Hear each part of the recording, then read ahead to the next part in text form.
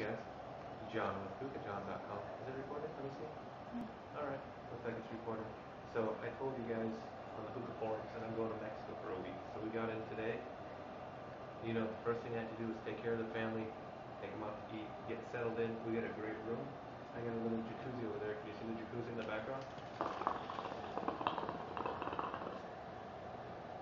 And I debated whether or not to bring a hookah with me.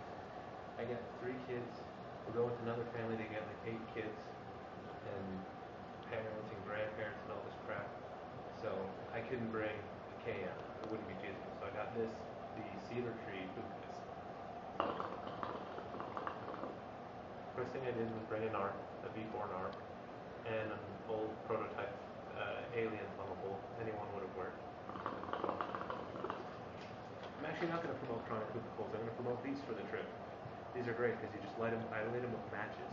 Didn't take that long. You just get them started, and you throw them on the tray, and they light within like 10 minutes or whatever by themselves while you're preparing the bowl. But this is perfect for me. At the end of the night, check out my view. I don't know if you can see it. It's dark. I'll show you later in the day.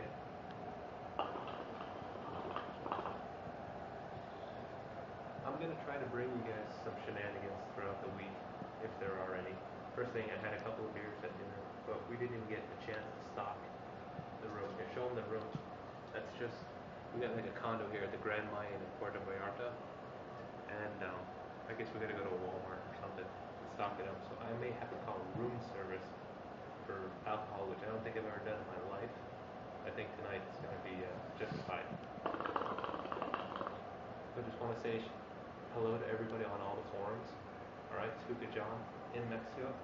Um, check this out. Check out, get one of these hookahs too for travel.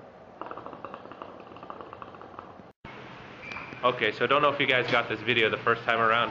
This is the view from our place in Puerto Vallarta.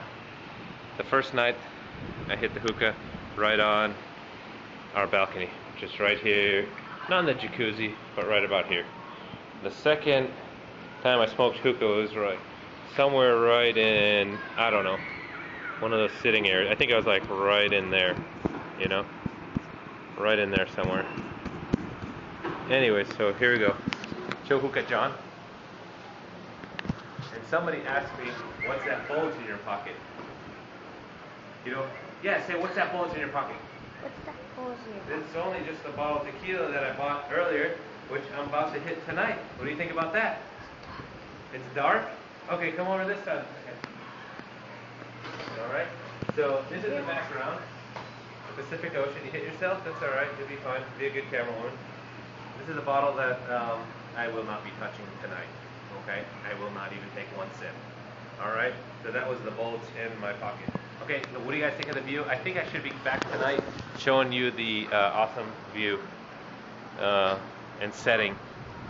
Alright, I'm late for dinner, so we'll be back soon.